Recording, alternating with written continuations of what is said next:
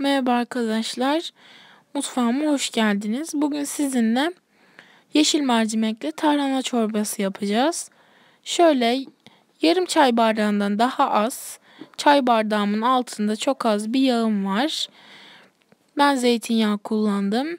Şöyle 3-4 dişte sarımsağım var. Şu şekilde kızgın yağma aldım sarımsağımı. Şöyle bir tatlı kaşığı kadar da nanem var. Nanemi içerisine koyuyorum ve şu şekilde iyice karıştırıyorum. Nanemle sarımsağımı iyice kavuracağım. Bugün kışın vazgeçilmez çorbası. Hatta sadece kışın değil, yaz kış fark etmiyor. Her zaman kolaylıkla ve güzel bir şekilde yapabileceğiniz bir tarif. Şu şekilde bir tane domatesimi rendeledim, kabuğunu soydum, rendeledim ve içerisine atıyorum. Şöyle kavuruyorum. Bu sırada tarhanamızı açalım. Evet arkadaşlar şimdi tarhanamızı açacağız.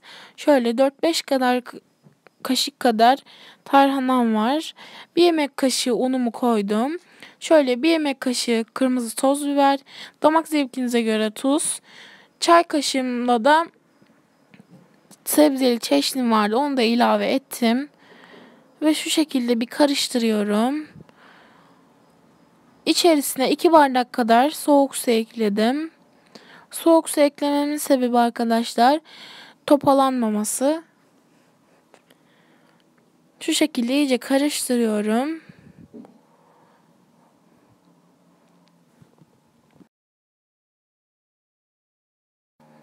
Evet arkadaşlar iyice kavrulan malzememe şöyle suyumu ekliyorum. Ben yaklaşık 1 litre kadar kullandım. Çorbanızın yoğunluğuna da bağlı. Ben biraz fazla yapıyorum çorbamı. Şu şekilde önceden kalmış yeşil mercimek yemeğim vardı. Onu da değerlendirmek için şu şekilde içerisine atıyorum. Ve karıştırıyoruz. Bu arada arkadaşlar domates yerine salça da koyabilirsiniz. Ama domates de gayet güzel oluyor.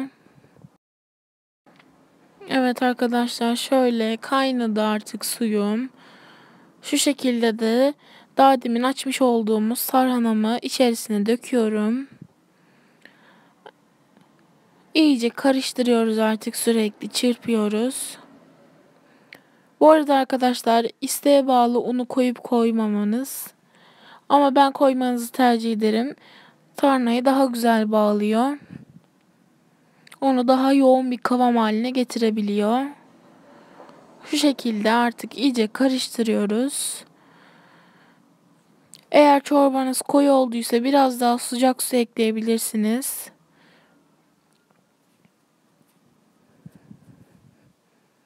Bu arada arkadaşlar sizler nasılsınız? Umarım iyisinizdir.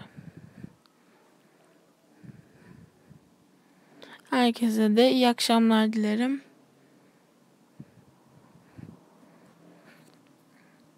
Şöyle. Bu arada arkadaşlar güzel yorumlarınız için de çok teşekkür ederim. Sizler olmasanız gerçekten de yapamayız. En azından videolarımı da yarısını kadar izleyebilirseniz gerçekten de çok sevinirim. Evet arkadaşlar çorbam çok güzel pişti. Şöyle altını kıstım. 2 dakika daha kaynatıyorum. Ve sonra servis tabağına alacağız. Gerçekten de çok güzel kokuyor. Kesinlikle siz de mutlaka denemelisiniz bu tarifi. Şimdi servise geçebiliriz.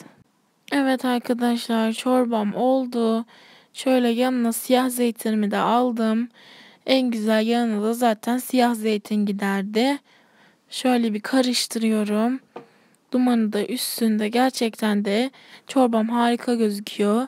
Hem dünden kalma yeşil mercimeğimi değerlendirdim. Hem de mis gibi bir tarhana çorbası yaptım. Herkesin de kolaylıkla yapabileceği bir tarif. Şimdiden deneyeceklere afiyet olsun arkadaşlar. Güzel yorumunuzu bekliyorum. İyi akşamlar dilerim.